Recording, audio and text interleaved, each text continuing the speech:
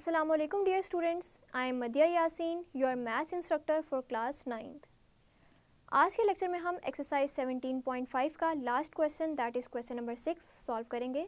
तो आइए चलते हैं क्वेश्चन के सोल्यूशन की तरफ़। आज के लेक्चर में हम एक्सरसाइज 17.5 का last question that is question number six solve करेंगे। तो सबसे पहले मूव करते हैं क्वेश्चन की स्टेटमेंट की तरफ़।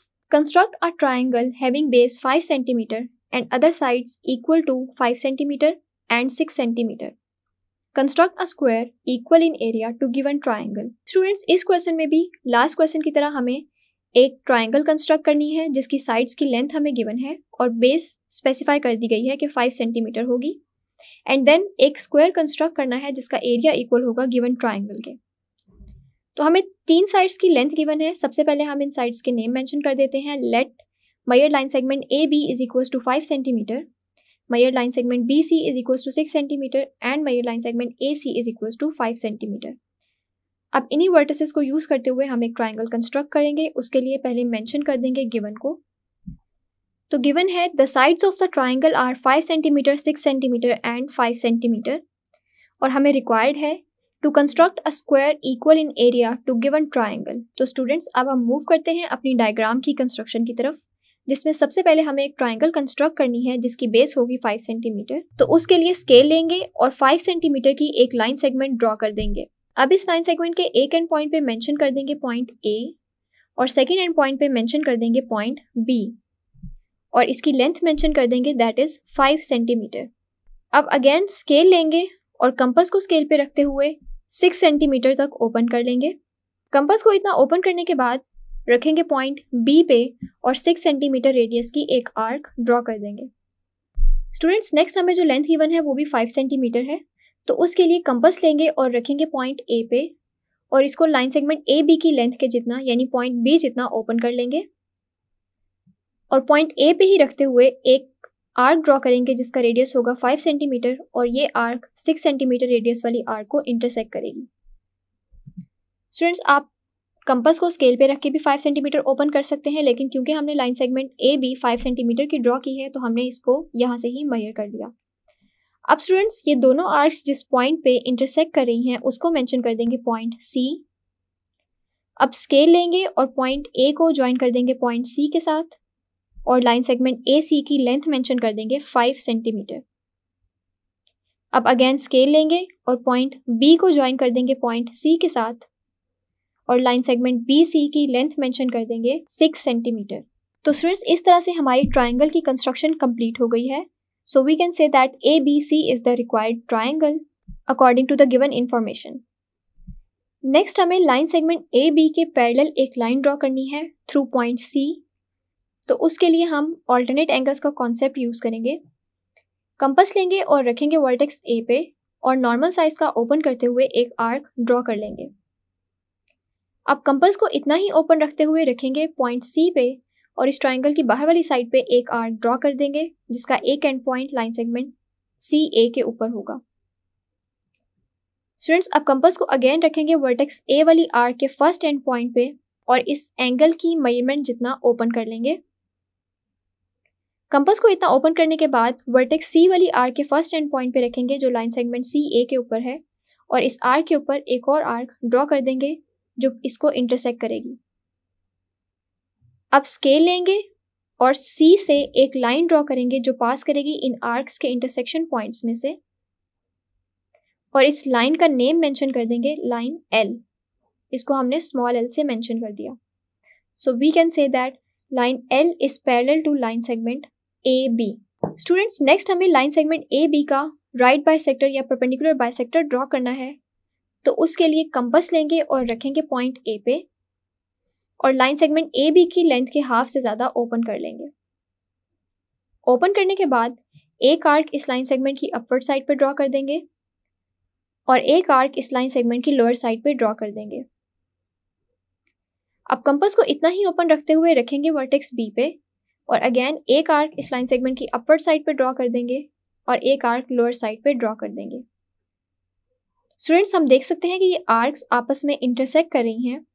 अब स्केल लेंगे और एक लाइन ड्रॉ करेंगे जो पास करेगी इन आर्क्स के इंटरसेक्शन पॉइंट्स में से, जो कि शो करेगी लाइन सेगमेंट ए बी के राइट बाय सेक्टर को। अब इस राइट बाय सेक्टर के एंड पॉइंट्स को मेंशन कर देंगे P and Q so that P Q is the right bisector of line segment A B और ये जिस पॉइंट पे इस लाइन एल को कट कर रहा है, उसको मेंशन कर देंगे पॉइंट ई स्टूडेंट्स ये right bisector P Q जिस पॉइंट पे लाइन सेगमेंट ए बी को इंटरसेक्ट कर रहा है, उसको मेंशन कर देंगे पॉइंट डी नेक्स्ट हमें पॉइंट ई e से इस लाइन एल को कट करना है मेज़रमेंट डी बी के इक्वल तो उसके लिए कंपस लेंगे और रखेंगे पॉइंट डी पे और पॉइंट बी तक ओपन कर लेंगे.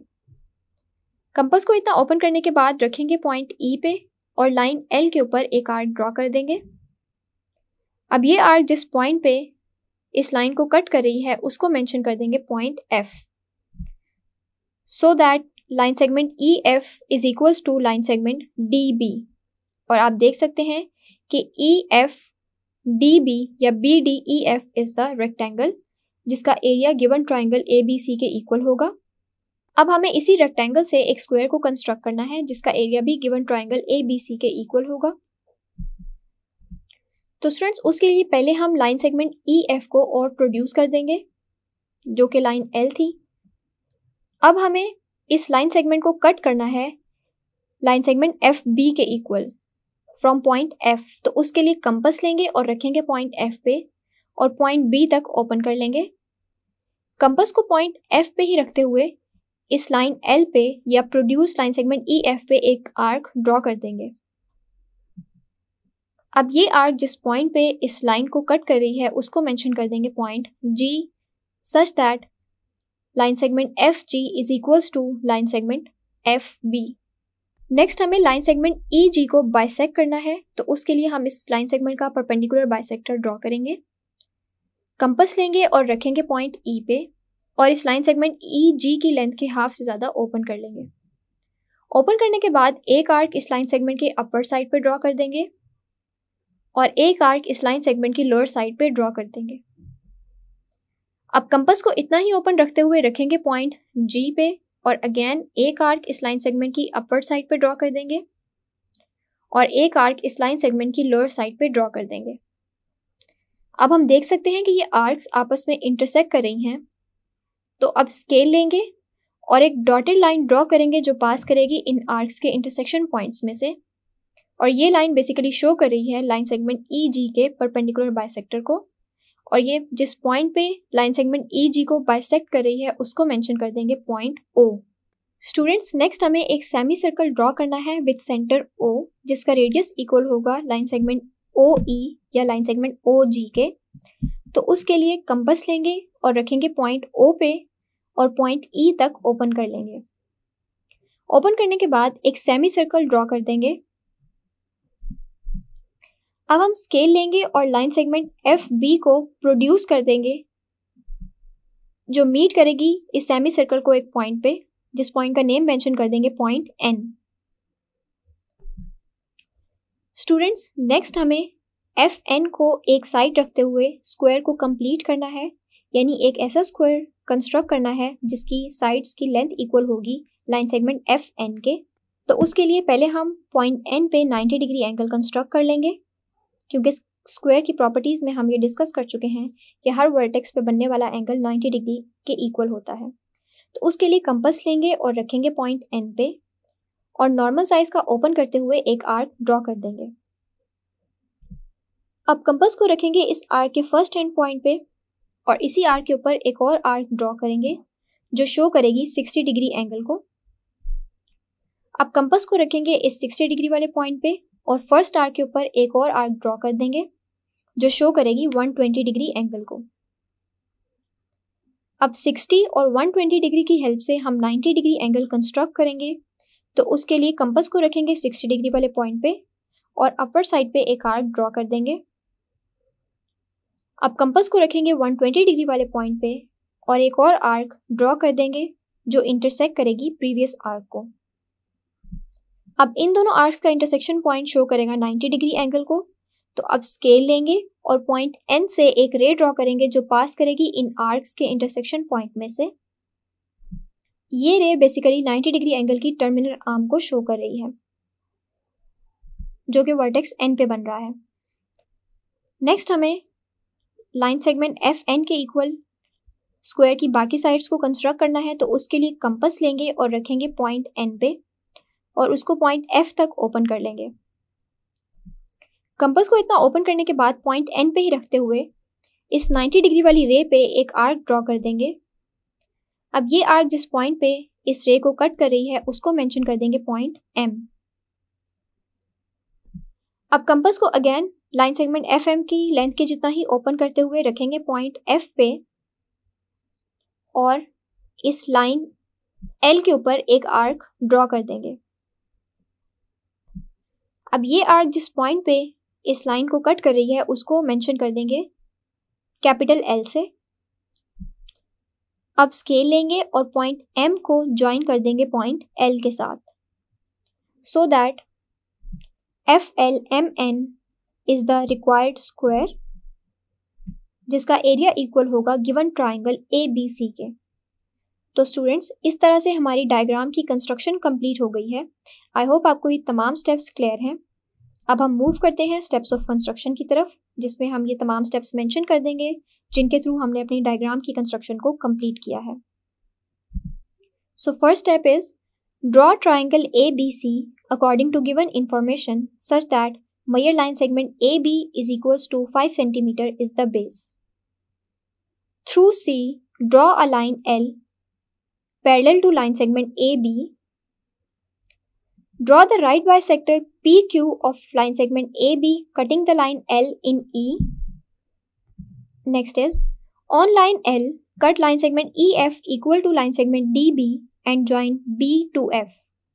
So BDEF is the rectangle having area equal to the triangle ABC. Next हमने लाइन सेगमेंट ई एफ़ को प्रोड्यूस किया था तो उसको मेंशन कर देंगे Produce line segment EF and cut line segment FG is equals to line segment FB. Bisect line segment EG at O. Next is draw a semicircle with center O and radius line segment OG is equals to line segment cutting the line segment B F produced at N next हमने एक square construct कर लिया था with side F N तो उसको यहाँ पे mention कर देंगे। Draw a square F L M N with side line segment F N this is the required square equal in area to triangle A B C तो students इस तरह से हमने अपने क्वेश्चन को कंप्लीट कर लिया। और इसी क्वेश्चन के साथ हमारी एक्सरसाइज 17.5 भी कंप्लीट हो गई है। आई होप आपको इस एक्सरसाइज के तमाम क्वेश्चंस और तमाम कॉन्सेप्ट्स क्लियर हैं। दैट्स इट स्टूडेंट्स आज के लेक्चर में हमने एक्सरसाइज 17.5 का क्वेश्चन नंबर सिक्स सॉल्व कर लिया है और इसी के साथ हमारी एक्सरसाइज 17.5 भी कंप्लीट होती है। एक्सरसाइज के साथ साथ हमारा चैप्टर भी कंप्लीट होता है। नेक्स्ट लेक्चर में हम रिव्यू एक्सरसाइज सॉल्व करेंगे। See you in the next lecture Allah हाफिज़।